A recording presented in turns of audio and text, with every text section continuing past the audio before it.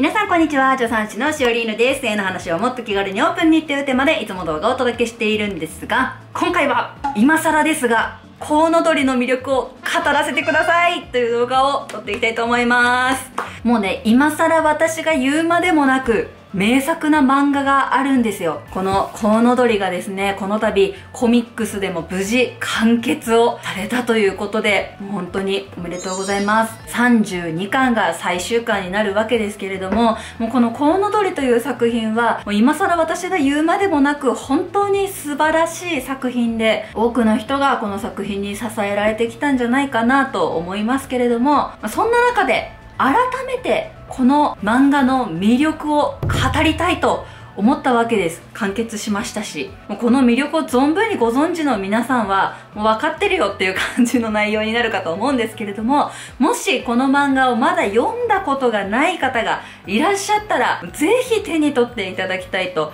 全力でおすすめをしたい作品ですので今回は改めてその魅力をお伝えしていこうと思います。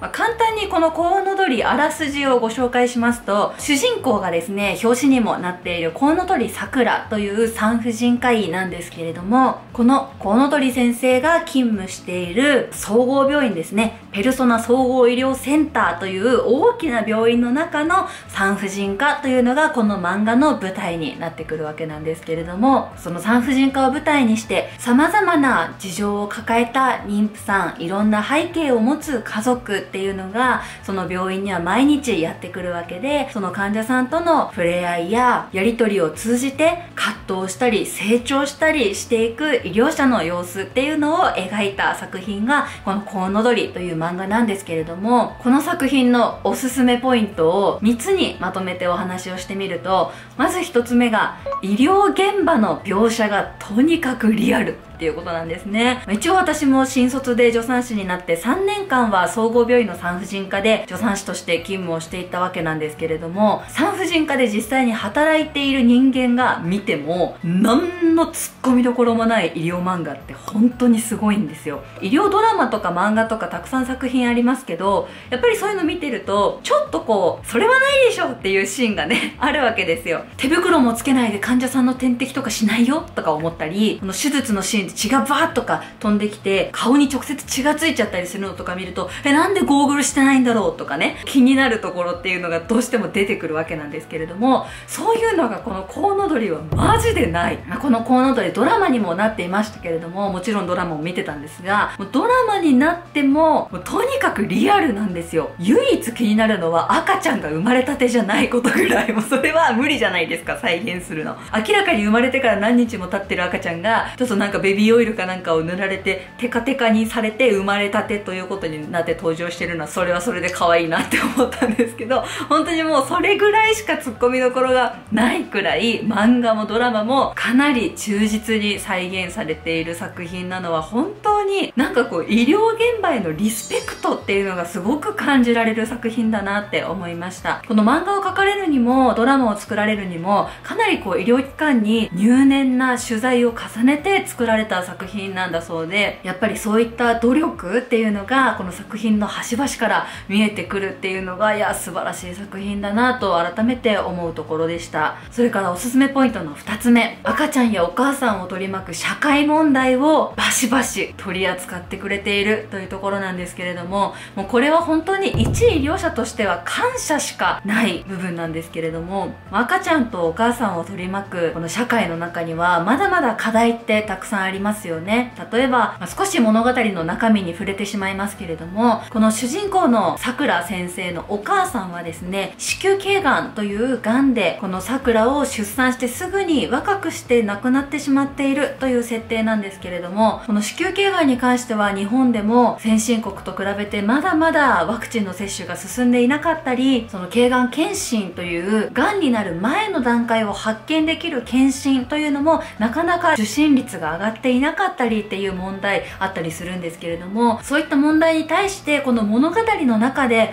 いかに子宮頸がんっていうものが患者さんも医療者も胸を痛める病気ででもそれはワクチンや検診っていうことによって防いでいける病気なのにまだそれが浸透していないという現実があってそれに医療者がとてももどかしい気持ちを抱えていることだとかそういったことをきちんと描いてくれている。それがまたとてもいい作品なのでそれを知ってくれた読者の人がそういう情報をまた別の人に広げていってくれるそういった効果をすごく生み出してくれている作品だと思うんですね。でもちろん子宮頸がんの話にとどまらず例えば産後うつや虐待に関する問題だったりとか例えば予期しないタイミングでの妊娠適切に妊婦検診を受けることができずに出産に至るケースに関する話だったりとかそれから何らかの疾患や障害を持って生まれた赤ちゃんが治療をする NICU という場にお子さんが入院している時の家族の葛藤だったりとか、ま妊娠や出産っていうと、まその多くが何事もなく妊娠期間を終えて何事もなく出産をして普通に育っていくっていうことを想像されることがどうしても多いけれどもそれでもこの社会の中にはお母さんや赤ちゃんを取り巻く様々な問題っていうのがあってそれに多くの医療者は日々心を痛めていてどうにかしたいこの社会の問題を少しでも減らしたいお母さんや赤ちゃんが健やかに安心して暮らせる社会にしていきたいって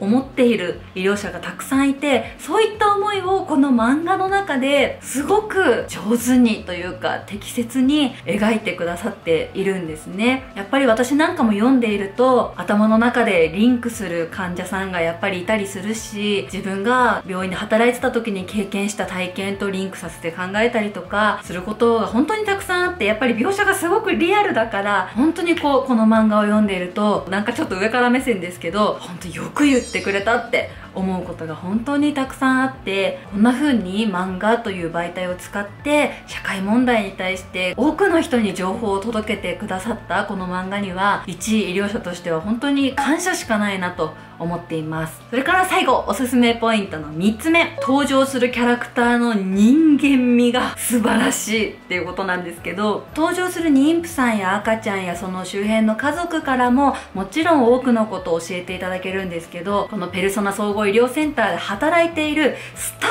フたちのキャラクターも本当に素晴らしいんですね。やっぱりそれぞれの職種まあ本当に産婦人科のお医者さんに限らず産婦人科医や助産師や救命救急に関するお医者さんや NICU というところで赤ちゃんを治療している新生児科医の先生や本当にこう病院という場所に関わる様々な職種の人が登場する漫画なんですけれどもその一人一人がやっぱりこう医療者としてプロフェッショナルとして治療にもちろん取り組んでいくっていう描写だけではなくやっぱりその治療の中で個人的にすごくこう落ち込むケースがあったり立ち直れないケースがあったりトラウマになってもう働けないかもしれないって思うようなケースがあったりもしくはこう自分が力不足で自分にもっとスキルがあったら目の前の人を救えたかもしれないとかそういった経験をしたことによって自分のキャリア選択を大きく変える選択をする方がいたりとかなんかこう一人一人の医療者にきちんとその人の人生があって生活があってその人が一医療者として一人の職業人として自分の人生をどう選んでいくのかっていうことにすごくこう葛藤したり勇気を出したり意思決定をしていくそのプロセスっていうのが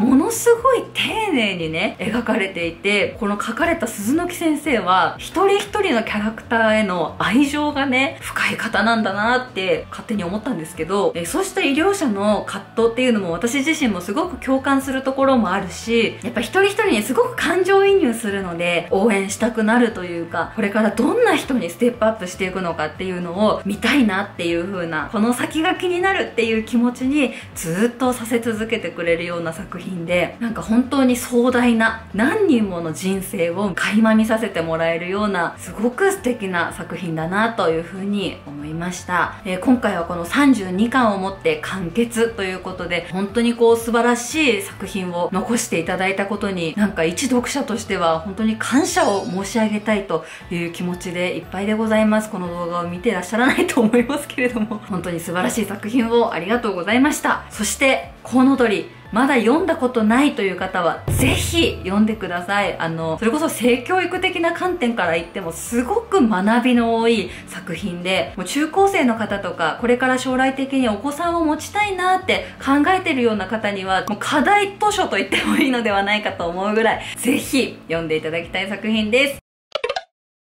はい、ということで今回はもう超有名作ですけれども、コウノドリの魅力について改めて語ってみました。この動画良かったぞという方はぜひ高評価、チャンネル登録もよろしくお願いします。それではまた次回の動画でお会いしましょう。バイバーイ。せーのでせーのタブおとりさてもと気軽にオープンに語り合おう愛悪いよ洗い一人にしないこれが私のセクセリケーション